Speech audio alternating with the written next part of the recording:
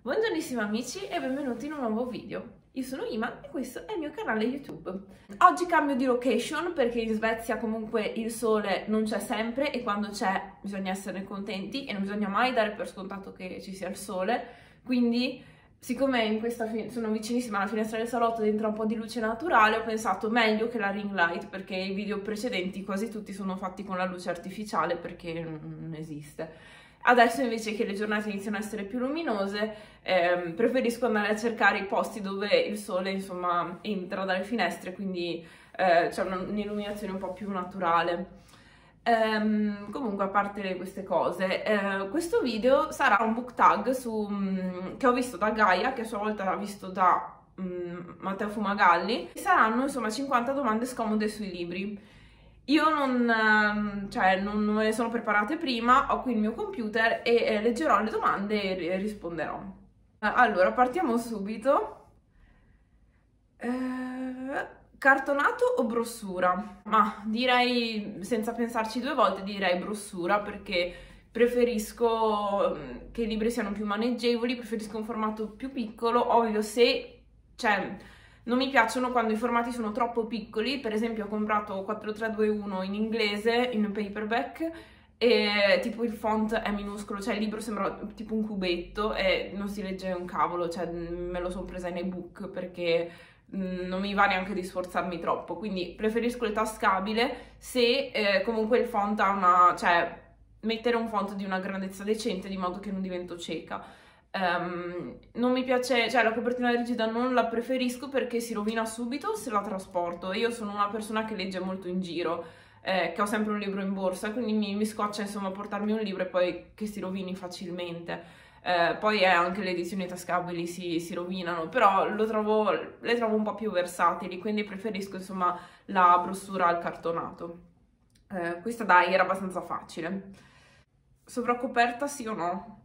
Mm, boh, mi, mi, dà un po' fastidio, per, soprattutto se è bella, per esempio i libri di Olga Tokarczuk hanno una copertina bellissima e quelli, la, quella la tolgo sempre per evitare insomma che si rovini, però sì a volte mh, mm, la tengo se non è troppo, se non dà troppo fastidio, però se magari mi rendo conto che trasportandola si rovina allora la tolgo e vabbè, quindi non mi, non mi cambia. Libri di seconda mano o nuovi? Ma a me piacciono molto i libri usati, sinceramente. Mm, compro spesso libri usati, soprattutto qua in Svezia, perché qua c'è un, un concetto un po, più, un po', diverso rispetto a libraccio, che comunque, cioè, quando tu dai i libri a libraccio ti danno pochissimi soldi indietro, però loro li rivendono per la metà del prezzo o anche un po' di più. E quindi mm, boh, non, non, conviene molto. Invece qua in Svezia eh, tu quando dai libri ai negozi di seconda mano non ti danno niente, però i libri sono venduti a 2 euro, l'equivalente di 2 euro, oppure se sono in, um, se sono in copertina rigida 3 o 4 euro, però comunque magari un libro in copertina rigida ti costa 20 euro ehm, in inglese, sto parlando di libri in inglese, in italiano costano, costano 20 euro anche in copertina tascabile, quindi lasciamo stare. E quindi, insomma, preferisco comprare libri usati sia per il prezzo, ma sia anche perché mi piace magari trovare delle sottolineature, trovare anche cose, tipo a volte ho trovato dei biglietti del treno o segnalibri particolari, insomma mi piace capire un po' qualcosa se riesco della persona che l'ha avuto prima di me, penso che sia interessante perché puoi capire cose di una persona anche vedendo che cosa sottolinea, a meno che insomma non sia un libro che quella persona ha studiato per scuola. Ehm, comunque sì, tendenzialmente insomma li preferisco usati però anche nuovi, non mi dispiacciono. ehm, vabbè, audiolibri o no? Audiolibri tantissimo perché per me gli audiolibri sono proprio, cioè quando non riesco a leggere proprio fisicamente, quando pulisco casa, lavo i piatti, eh, più spesso quando sono dentro casa rispetto a quando sono fuori, perché quando cammino per strada mi lascio un po' distrarre insomma da quello che vedo, eh, io uso sempre, io ascolto sempre audiolibri, sempre. Eh, mi dispiace perché ho sentito anche un'altra ragazza che ne parlava su Instagram, eh, che purtroppo con questa cosa che io ho l'abbonamento eh, sia Audible che Storytel, Um, ascolto molti meno podcast perché penso sempre devo sfruttare l'abbonamento perché insomma lo sto pagando, quindi ascolto sempre libri, non che mi dispiaccia, però comunque questo ha tolto un pochino di tempo all'ascolto dei podcast. Um, a volte se non riesco a metterci uh, la stessa concentrazione nello stesso ascolto, per esempio mh, durante l'estate ho lavorato come assistenza clienti via chat e, o via mail a lavoro eh, io avevo sempre le cuffie e mh, mm, mettevo sempre podcast o comunque video YouTube perché ascoltare un libro mm, dovevo prestare troppa attenzione, dovevo lavorare, quindi non potevo prestare troppa attenzione. Mm, era un lavoro piuttosto meccanico, però volevo ascoltare qualcosa di sottofondo e quindi mettevo spesso podcast o video, tipo quelli che sto facendo io adesso, eh, perché comunque sono piacevoli anche da ascoltare. Eh, però audiolibri sì, audiolibri sì. Compri in base alla copertina? Allora, tempo fa sì, tantissimo.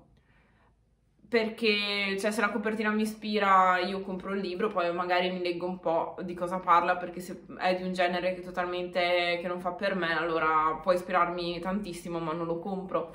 E invece adesso che comunque ho tantissimi libri da leggere, ricevo tantissimi libri dalle case editrici, cerco un attimo di ridurre e di comprare veramente quello che secondo me mi piace, mm, perché ormai dopo un po' di tempo che uno legge ha un po' un fiuto per quello che ti può piacere, poi ovviamente le fregature le prendi comunque e non è che ti possono piacere tutti i libri, però cerco un po' di non farmi prendere da, dall'impulsività, insomma, eh, magari mm, se vedo un libro che mi ispira e però non conosco niente, aspetto a comprarlo più o meno quasi sempre, a meno che proprio non sia colpo di fulmine, eh, se la copertina è stupenda e tutto quanto, raramente lo compro, cerco magari sempre di ascoltare qualche parere o di leggere qualche recensione, capire se può fare per me anche se la copertina è bella. Se la copertina è brutta io non cago proprio il libro, quindi direi che la copertina esercita comunque un certo fascino. Quindi sì, compro in base alla copertina, ma adesso sto cercando di mh, mm, capire un po' di più quello che mi piace, non, non solamente in base alla copertina, però sì, indubbiamente mi affascina. Un bel libro con una brutta copertina. Allora, un bel libro con una brutta copertina. Allora, il primo che mi viene in mente è eh, La vita bugiarda degli adulti di Elena Ferrante, edizione italiana, copertina orrenda. Cioè, se io non, non amassi Elena Ferrante a follia, io non avrei mai neanche considerato quel libro.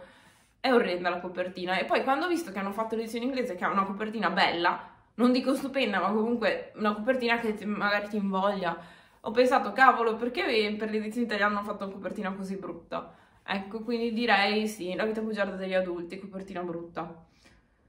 Un brutto libro con una bella copertina, eh? allora qua ce ne sono. Mm, fammi pensare. Quello di Camilla Boniardi, eh, nota come Camioc, che ha scritto questo libro che si chiamava, non mi ricordo, eh, Il resto dei miei sbagli, una cosa così. E la copertina è molto bella, io l'ho ascoltato in audiolibro perché volevo sapere, non volevo spendere i soldi per il libro perché volevo un attimo capire se mi sarebbe piaciuto, ma non sono arrivata neanche a metà e non mi è piaciuto per niente. Però la copertina è molto bella. E primo libro mai letto. Mm, allora, primo libro mai letto penso sia stato un libro che era di mia mamma, di quando era piccola lei, si chiamava Piccola storia di un cane. Eh, quello mi ricordo come uno dei primi libri che io abbia mai letto, poi c'è stato Il Mago di Oz, e poi alcuni libri delle Witch, poi vabbè Geronimo Stilton, no vabbè le Witch forse sono venute un po' dopo, eh, Geronimo Stilton, però direi che il primo primo primo, da, da, bambina proprio ho letto questo libro che si chiamava Piccola storia di un cane, però non chiedetemi di cosa parla, non chiedetemi di chi è, però ce l'ho, ce l'ho in Italia.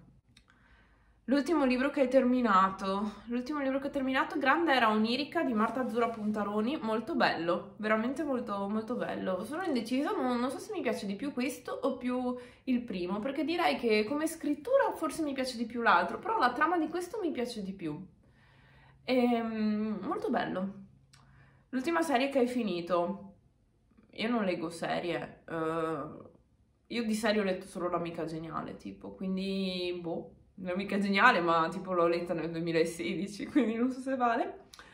L'ultimo libro che ho acquistato, mh, mm, ho acquistato eh, alla libreria inglese di Stoccolma tre libri perché c'era l'opzione 3x2 e uno è Gli Argonauti di Maggie Nelson un altro è Milk Fed, che però in italiano non è stato ancora tradotto, e l'altro ancora è un libro pazzo fuori di testa che si chiama A Ghost in the Throat, quindi un fantasma in gola, e, di un'autrice irlandese. Boh, sembra una roba assurda. Qual è il tuo genere preferito? Allora, il mio genere preferito, romanzo familiare, mm, mi piacciono i classici, però non sono una di quelle persone che parlano solo di classici, che pensano che solo i classici siano veri libri, quindi boh, mi piacciono i classici. Però la mia comfort zone sono i romanzi familiari e tendenzialmente direi narrativa, narrativa contemporanea, però anche classici. Uh, qual è il tuo libro preferito di quel genere? Boh, un libro preferito di narrativa, raga, cioè, non so. Di romanzi familiari, il mio libro preferito potrei dirvi Il Buddenbrook di Thomas Mann, mi è piaciuto tantissimo, l'ho amato, uno dei miei libri preferiti. Uh, romanzo di formazione, direi L'isola di Arturo, perché il mio libro preferito della vita direi L'isola di Arturo di Elsa Morante Um, però appartiene, sì, appartiene a narrativa, Novecento italiano e um, romanzo di formazione, quindi forse mi piacciono i romanzi di formazione. E, L'isola di Arturo di Elsa Morante, boh, eh, amica geniale, vabbè, mi conoscete. Quale genere non leggi mai? Gialli, cioè io proprio allergica, appena vedo un libro, magari anche una copertina bella, appena tipo vedo che si apre con un delitto, sto male, cioè non, non lo leggerò mai, tranne Olga Tokarczuk, perché mh, avevo amato tantissimo i vagabondi, sapevo che lei non avrebbe scritto gialli, infatti Guideldo Carlo sulle ossa dei morti si apre con dei delitti, però non è un giallo, cioè magari sembra un po' così, però non lo è per niente.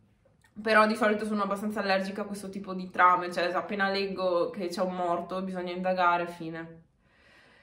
Leggi poesia? Mm, no, non tantissima, però quest'anno veramente ho comprato un bel po' di libri di poesia perché voglio proprio leggerla. Cioè, ultimamente sono un po' fissata su questa cosa, non che abbia ancora applicato la mia fissazione, però ho intenzione di leggere poesia e al momento non ne sto leggendo. Leggi saggistica scientifica? No. Eh, leggi libri per ragazzi? No. No. Sei iscritta a qualche subscription box di libri? No, c'è romanzi.it che non è che sono proprio iscritta, ma è una collaborazione, e, però mi piacciono molto. Uh, solo che il mio problema principale è che io possiedo tantissimi libri e mi piace un sacco l'idea di ricevere dei libri a sorpresa, ma con tutti i libri che ho da leggere, ricevere dei libri a sorpresa che magari mi ispirano ma non è quello che voglio leggere, magari non è per niente quello che voglio leggere, mi mette un attimo in allerta. Se io fossi una che non ha libri, tipo che ne ha 10 da leggere, allora tranquillo farei. Uh, però per un motivo mio, per cui io ho tantissima roba da leggere e devo un po' decidere insomma a cosa dare spazio, uh, non me la sento di fare... Um, di iscrivermi, però mi piace molto il concetto, trovo che sia molto bello. Se uno è un po' più normale nell'acquisto di libri, secondo me è top con eh, la subscription box. Qual è il tuo articolo libroso preferito? Articolo libroso direi, boh, eh, ho un segnalibro bellissimo che mi ha, mi ha fatto la mia, la mia migliore amica perché lei è un'illustratrice e mi ricordo che il mio diciottesimo, diciannovesimo compleanno, non mi ricordo più, a un compleanno, mi ha fatto un segnalibro dove ci siamo io e lei e poi dietro mi ha scritto delle cose molto belle e ormai quel segnalibro è mezzo distrutto però mm, lo conservo con affetto perché insomma mi, mi piace molto, è un bel ricordo. E mm, infatti cioè se stai guardando questo video fammene un altro perché mm, mi piacciono. E, e poi la tazza di, di, Virginia Woolf che mm, mi hanno regalato in una libreria perché ho comprato troppi libri, no, c'era tipo questa offerta che se compravi un tot di libri ti regalavano un gadget a scelta io ho scelto la tazza di Virginia Woolf. Probabilmente l'avrete anche vista spammata su Instagram nelle mie, nelle mie foto perché c'è quasi sempre quando fotografo colazioni librose. Il mio segnalibro del momento... Mm, il mio segnalibro del momento, boh, io uso qualsiasi roba come segnalibro uh, un, una qualsiasi cosa che c'è nella mia borsa diventa un segnalibro. Ho diversi libri in lettura, quindi in ogni, cioè, ci sono scontrini, qualche segnalibro magari che c'era già dentro il libro, mh, mm, niente di particolare. Qual è l'oggetto più strano che hai usato come segnalibro? Eh, soprattutto se leggo a casa, io metto tipo, boh, qualsiasi cosa, un giornale sopra in modo da lasciare la pagina aperta o qualsiasi oggetto che c'è vicino a me se non ho un segnalibro nel momento. Una volta ho usato anche un pezzo di carta igienica e mi sentivo un po' sfigata, però vabbè, eh, cioè leggere tipo all'università con la carta igienica nel libro, bello. Um, chi è il tuo ragazzo immaginario? No, ma io non sono in grado di queste cose. Non, sono mai stata una, tipo, io quando ero piccola amavo i Pokémon e mi ricordo che c'era la mia compagna di classe che lei era stra innamorata di quello dei Pokémon, il protagonista. Cioè, io, a me piaceva come cartone, però non riuscivo a innamorarmi di, un carto- di una cosa che non esiste. Quindi io ho un po' questo problema. Cioè, magari mi piace vedere il cartone, mi piace leggere il libro, ma non è che mi innamoro di un personaggio magari mi innamoro della situazione, della storia e magari vorrei esserci io in quella situazione, però non è che mi innamoro del protagonista, quindi non so rispondere. Coppia preferita nei libri? No, non ditemi questo. Allora, allora, cioè io sono proprio basic e dico mm, Marianne Connell, anche se, vabbè, cioè, io li amo, non so cosa dire, perché comunque, cioè, non è una coppia perfetta, però per me devono stare insieme. Basta, non, non, dico niente, non dico niente, se non avete letto Normal People non potete capire. Cattivo dei libri preferito. Cattivo dei libri preferito. Io un cattivo che mi sta simpi. Uh, boh, ma mi viene in mente che ne so, perché non leggo tante robe dove ci sono cattivi buoni, tipo i fantasy, robe così, però Mm, tipo Emma Bovary, cioè Madame Bovary è uno dei miei classici preferiti. Emma Bovary è una stronza. Però a me piace tantissimo perché è stronza, cioè tipo l'amo, perché secondo me è un bel modello, anche se tantissimi la odiano, e invece a me piace, mi sta simpatica, quindi non so se può essere considerata cattiva, nella storia di certo non è, non è proprio simpaticissima, però a me piace perché ci sta. La migliore avventura libresca, cosa vuol dire? Uh, migliore avventura libresca Mm, avventura tipo vai ragazza andiamo in giro per il mondo. Ok. Allora, proprio un libro in cui sono rimasta tantissimo immersa è stato, vabbè, L'isola di Arturo, che mi ha proprio calato dentro questo mondo che ho amato. Um, un'amica geniale, ciao, ovvio e Normal P, vabbè, ovvio, cioè sono tutti libri che io continuo a ripetere perché sono libri che, mi, che ho amato tantissimo, però anche magari romanzoni proprio familiari come L'ottava vita, e, um, poi mi è piaciuto moltissimo La valle dell'Eden di Steinbeck che ho letto moltissimi anni fa, eh, un libro che mi ha proprio immersa sua, nelle riflessioni invece è stato Seni e uova di Mieko Kawakami, bellissimo, un libro molto calmo, molto lento, che sicuramente non, non, può piacere a tutti, però a me è piaciuto tantissimo e proprio sono, mi sono proprio calata dentro queste situazioni, questi dialoghi, molto, molto giappo come, come libro, mm, mi è piaciuto molto. Eh, andiamo avanti, serie, trilogie, stand-alones, stand-alones perché di trilogie e serie io non ne leggo, mix media book o paragrafi, Mm, boh, cosa vuol dire? Infatti qua c'è scritto. Questa non l'ho sinceramente capita, la interpreto come libri, commedia tipo foto o altro, oppure con solo testo. Boh, chi se ne... Cioè, se un libro è bello mi piace anche che abbia foto o altre cose. Infatti, tipo, ho letto di recente l'archivio dei bambini perduti di Valeria Luiselli, ha diverse cose dentro foto, manifesti, poesie, altri magari citazioni di altri libri. Mi piace molto questo... Cioè, se un libro scritto bene, mi piace. Qual è il tuo adattamento di libri preferito? Beh, Normal People. Secondo me Normal People, molto riuscito. Beh, anche l'amica geniale, però sì, la terza stagione ho avuto un po' di critichelle da fare, però Normal People direi che vabbè, è un po' più facile perché è solamente una, una stagione, quindi è più facile mantenere alto il livello, ecco. Quindi direi che mi è piaciuto moltissimo. Adattamenti cinematografici o televisivi? Boh, uguale per me, non, non sono una grande... Eh, non guardo tv, non guardo serie, io guardo solo serie se sono tratte dai libri che mi piacciono, se no non le guardo. Quale libro necessita di un adattamento? Che poi tra l'altro, che ne so che magari non ci sia già. Uh, vediamo. Sarebbe fighissimo uh, fare... Um, cioè, io guarderei tantissimo l'ottava vita in...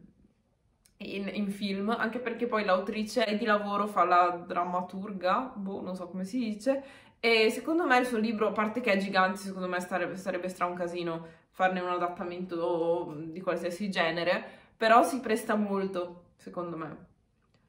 Mondo libresco preferito? Boh, eh, mondo libresco preferito, anche qua cadiamo sempre un po' nel fantasy e io non lo leggo, quindi non saprei dire il mondo libresco preferito, perché leggo quasi tutti i libri che sono ambientati in questo mondo, quindi boh, non rispondo, non so cosa dire.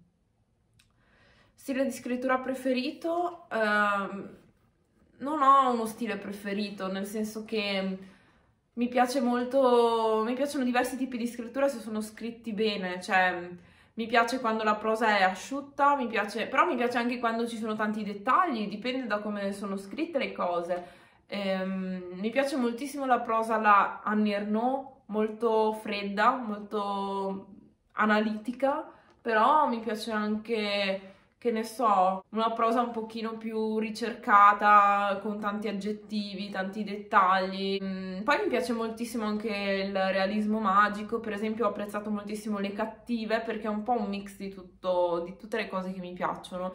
Ehm, lo stile di scrittura cambia, quindi mi è piaciuto molto. Quale libro ami che è poco conosciuto? Mm, libro che amo poco conosciuto, fammi pensare è un poco conosciuto. Boh, secondo me ha letto molto poco Le cose umane di Karine Twill e ho letto molto poco anche Il giorno in cui diedi fuoco alla mia casa di Francesca Mattei, eh, che è una raccolta di racconti che mi è piaciuta tantissimo, però non, non ne sento mai parlare. Qual è un libro popolare che hai odiato? Le bracci, oh mio dio, cioè io le bracci l'ho odiato, eh, perché non, non si arriva mai al succo della situazione, cioè c'è, c'è sempre questo alone di eh, succede qualcosa ma questa cosa non succede mai, ma tipo mi lasciava, mi avevo, avevo l'ansia, scorrevo le pagine per vedere se arrivava questa cosa, quindi non, no, quello non mi è proprio piaciuto, però so che è molto amato mh, mm, sia da Booktube che da Bookstagram, so che insomma Le braccia è un libro molto molto chiacchierato, molto amato e pensavo piacesse anche a me, infatti non vedevo l'ora di leggerlo, però quando l'ho letto ho detto no, io non ce la posso fare, proprio mi sentivo un senso di ansia perché dicevo ma quando arriva sta cosa, quando arriva sta cosa, però non arriva. Vabbè, mm, letture di infanzia preferite, Pinocchio, Pinocchio io l'ho amato tantissimo e Il mago di Oz l'ho amato tantissimo, Buio oltre la siepe, Ehm, non mi era piaciuto molto Harry Potter, mm, cioè nel senso io avevo letto i primi tre, però dopo un po' mi sono stufata, non è che fossi una grande assidua lettrice, diciamo. Mia mamma ha amato tutti i libri di Harry Potter, però io non, ehm, boh, non, non sono mai stata una grandissima fan. Qual è un libro che ti ha cambiato la vita? Il muro di Sartre. Uh, quel libro mi ha proprio... Cioè, spesso ritorno magari a leggerne de dei pezzi perché mi è piaciuto tantissimo. Non saprei dire in che senso me l'ha cambiata, però è un libro che considero fondamentale nel, nella mia esperienza di lettrice. Libro che odiavi a scuola. Boh. Allora, io a scuola, al liceo facevo schifo. Io non...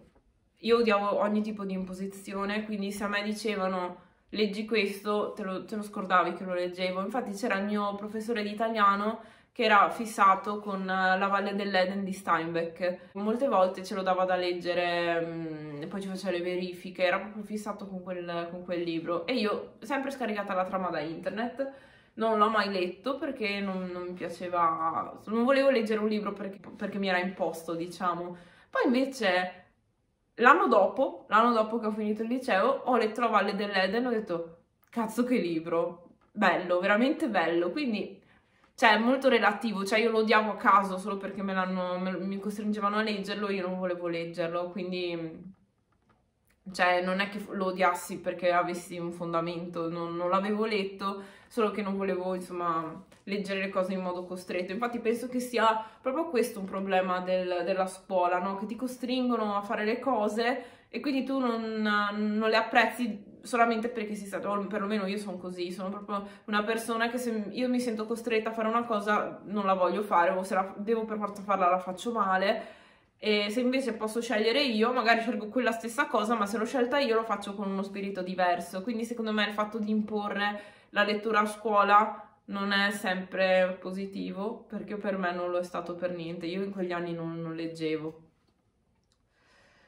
Compri per collezionare? Sì, se mi piace molto eh, una collana di qualche casa editrice, eh, voglio averli tutti, ma perché sono belli, tipo Iperborea, eh, sono comodi da leggere, mi piace molto il formato un po' più piccolino, sono bellissimi, quindi li tengo un po' da collezione, infatti sono in salotto lì perché sono belli, però lì ci sono solo quelli che ho letto, quelli che non ho letto sono nell'altra libreria. E quindi sì, colleziono, ma non colleziono nel modo standard, diciamo, i volumi belli da collezione, colleziono libri normali. Dono i libri, allora, dono libri Dipende, è una domanda un po', un po', scomoda, infatti questo tag si chiama domande scomode, perché io vorrei un sacco, cioè se io potessi scegliere cosa regalare alla gente, regalerei libri a tutti, però eh, ho tipo un trauma perché quando ero all'università a Udine ho regalato a una mia compagna di università um, un libro, lei non leggeva, però io volevo farle questo regalo perché io un po' volevo che si avvicinasse alla lettura e un po' tipo quel libro mi era piaciuto tanto ed era L'ombra del vento di Zafon e, e, quindi ho pensato di regalarglielo, quindi sono andata in libreria, poi un casino non riuscivo a trovarlo perché in tutte le librerie di Udine era finito perché era stato scelto come libro di scuola di qualche classe. Alla fine sono riuscita a trovarne una copia e quando gliel'ho regalato ho visto proprio la delusione nei suoi occhi perché a lei non gliene fregava niente e sono certa che lei non, non l'abbia mai letto, quindi ci sono rimasta di merda. E quindi ho pensato, cioè, non regalo libri a chi non legge. Ehm, perché dopo so che va a finire um, impolverato sugli scaffali e fine della storia. Ehm, preferisco donare libri a chi li legge, solo che non ho molti amici che leggono, quindi quello è un po' un casino. Ehm, anche se recentemente, tipo, um, parlando con alcuni miei amici storici, insomma, che non leggono molto, mi hanno detto se tu mi regalassi un libro io lo leggerei perché me l'hai regalato tu. Allora questo mi ha un po' dato la spinta quindi magari il prossimo Natale faccio un po' un Natale libroso a tutti i miei amici. Comunque dono libri per rispondere in modo sin- sintetico, direi no, non li dono. Non li dono perché non voglio, insomma, regalare qualcosa che poi non viene, non viene letto. Se i miei amici leggessero, allora sì. Eh, qual è il tuo snack preferito da mangiare durante la lettura? Ecco, questo, cioè, parliamo di questa cosa. Io non riesco a mangiare mentre leggo, perché o mangio o leggo, cioè non riesco tipo a avere una mano mentre mangio e con quell'altra tipo cioè leggere, girare le pagine, sottolineare, cioè non riesco io. Infatti quando vedo le persone che mangiano, cioè che fanno le foto che sembra che stiano mangiando, bevendo, leggendo, cioè io non so come si fa. Bere ok, tranqui. Mm, però mangiare, cioè io mm, no, cioè faccio un po' fatica, non riesco a coordinare la lettura e il cibo, quindi non, non mangio di solito. La tua posizione preferita per la lettura? Eh, io ho la sedia a dondolo, quindi leggo quasi sempre sulla sedia a dondolo. Tempo fa avrei detto a letto, ma ultimamente la vecchiaia incombe, quindi io appena vado a letto, cioè anche se vado a letto alle 9, perché tipo Martin, lui deve svegliarsi presto la mattina, poi non so cosa hanno gli svedesi che devono andare a letto alle 7 e mezza di sera, eh, lui tipo alle 9 va a letto, tipo vecchi, e io non vado mai, io dormo sempre più tardi, verso le 11 e mezzanotte, però magari certe volte se mi sento particolarmente che, boh, che non so, non so cosa fare, dico vabbè vado a letto pure io alle 9 e leggo. Ma io non riesco, cioè, tipo, ultimamente proprio leggo una pagina, può essere qualsiasi ora, ma se io tocco il letto, leggo, leggo una pagina e mi cala già la palpebra fine della storia. Quindi io, se voglio leggere, se so che magari la sera la voglio riservare solo alla lettura, io sedia a dondolo e vado di lettura tisana e lì leggo. Uh, poi luce naturale o luce di una lampada? Mm, dipende. Mm, se leggo di giorno luce naturale, uh, se leggo di sera lampada, cioè, vabbè, questa domanda un po' X. Fuori o dentro? Dentro. Perché io quando sono fuori guardo in giro, tipo anche le persone che leggono nei bar, faccio un po' fatica io, cioè Leggo spesso con la musica, quindi se ho le cuffie tranqui, cioè metto su magari delle, una musica strumentale, qualche colonna sonora e leggo tranquillamente, però tendenzialmente leggo molto meglio a casa mia, mm, se, devo, se devo scegliere. rompere la copertina o mantenerla liscia perfetta? Allora, io ho un problema con rompere tipo le, le costine. Mi, mi, sento male, cioè io non riesco a farlo, piuttosto leggo tipo sollevando appena appena perché mi dà fastidio. Però c'è li maltratto, non è che sono una che del libro deve essere perfetto. Chiaro che mi dà fastidio, come dicevo prima, che se me lo porto nello zaino poi si rovina.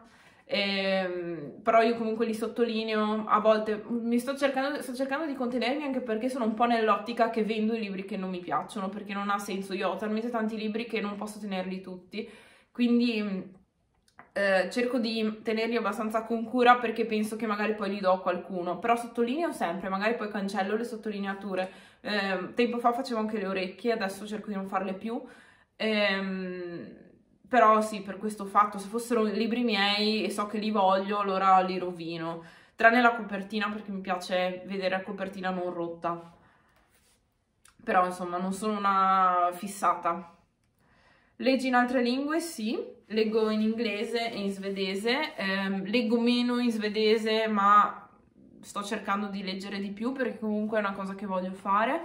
E io sono qua in Svezia e i libri in svedese costano di meno e in più mi rendo conto che non so molto di letteratura svedese, cioè paradossalmente studio letteratura in Svezia e conosco molto meglio la letteratura italiana. Mm, devo rimediare perché io poi voglio leggere letteratura svedese in svedese, quindi.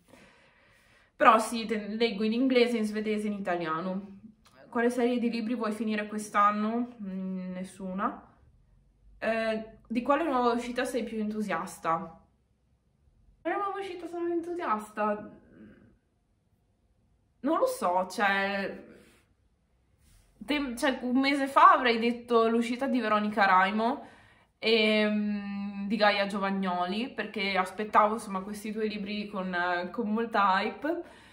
Questo mese non so cosa esca, uh, non ho particolare hype. Io ho l'hype per il libro nuovo di Olga Tokarczuk e i libri di Jacob, che è tipo un librone così, che doveva uscire a, gennaio, poi doveva uscire a marzo, adesso pare che esca a settembre. Quindi io sto aspettando quel cavolo di libro perché... Mm, però ho ancora un altro libro di Olga Tokarczuk che devo leggere prima, quindi ho tutto il tempo fino a settembre e poi parto con i libri di Jacob perché sono molto... Mm, lo attendo con impazienza. Hai un book influencer preferito?